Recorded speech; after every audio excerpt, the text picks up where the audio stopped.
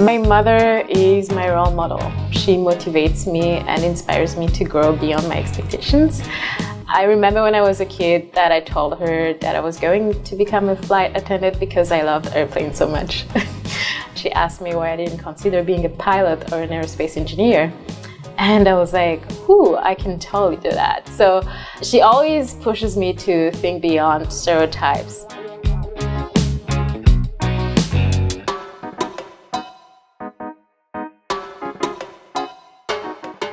In my spare time, I try to get more women into engineering, so I mentor high school girls. Really, when a girl is growing up, the first toy that she's going to get is not a computer or a Game Boy. It's usually a doll or, I don't know, um, a Barbie house or something like that.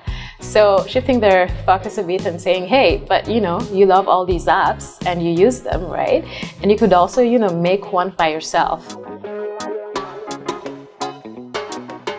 I grew up in Burundi, Burundi is a very beautiful country. Uh, I grew up during the civil war, so I still have some bit of a trauma. Uh, for instance, sometimes fireworks makes me um, think about gunshots. After high school, I ended up finding out about some scholarship in Canada, and that's how I stumbled upon computer engineering and doing research at the Advanced Real-Time Simulation Lab at Carleton University with Professor Gabriel Wainer. My research was about building software for embedded systems, combining advanced mathematical concept with modeling and simulation. What this basically means is that we ideally want to build, you know, software that we can entrust our lives to, especially when it comes to critical devices like uh, pacemakers, a car, an airplane. Those devices usually have an impact on people's lives.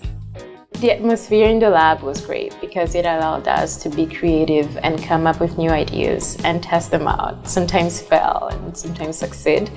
And that helped me in my current position, which is being a production engineer at Shopify, because we get to work on new things, um, push the boundaries. We always have to constantly innovate.